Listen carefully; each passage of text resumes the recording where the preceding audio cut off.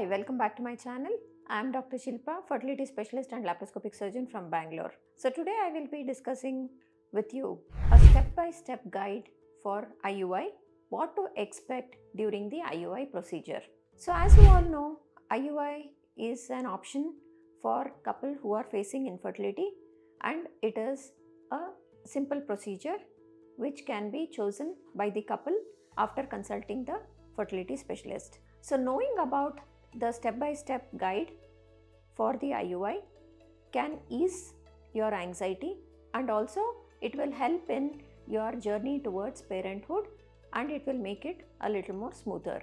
IUI, also known as intrauterine insemination, is a process wherein a processed sperms are placed inside the uterine cavity of the woman roughly around the time of ovulation.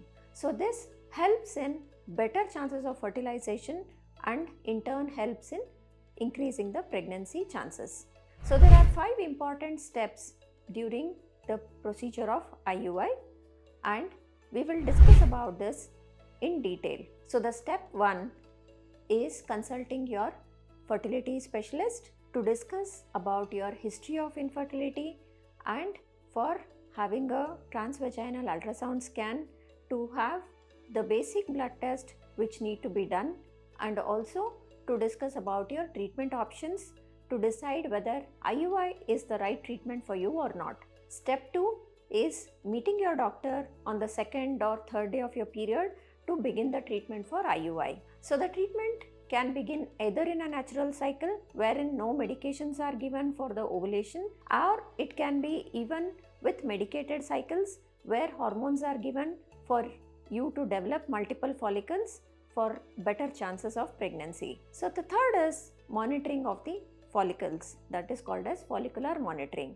So the follicular monitoring is important to track how the growth of the follicles and how many follicles are growing. So this helps in us knowing how the response to the medications are is happening and also it will help us to fine tune your treatment in case if any more medications need to be added or not. So roughly the follicular monitoring happens on day 8, day 10 and day 12 and it has to be done by a transvaginal scan in the fertility center. So the fourth step is the trigger that is giving the HCG shot. So this happens when the follicle reaches about 18 to 20 millimeters in size and this is a one shot injection which ensure that the follicle matures and the egg comes out of the ovary. So after the trigger injection is given, the final and the fifth step is the IUI. So the IUI is scheduled anywhere between 36 to 48 hours and it can be a single IUI or a double IUI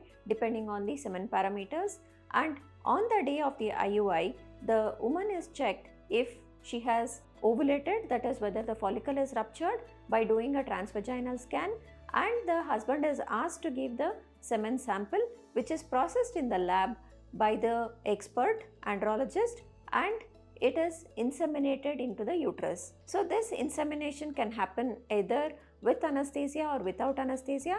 It is a simple form of injection wherein a small thin catheter is used and it is inserted into the uterine cavity and the sperms are injected slowly.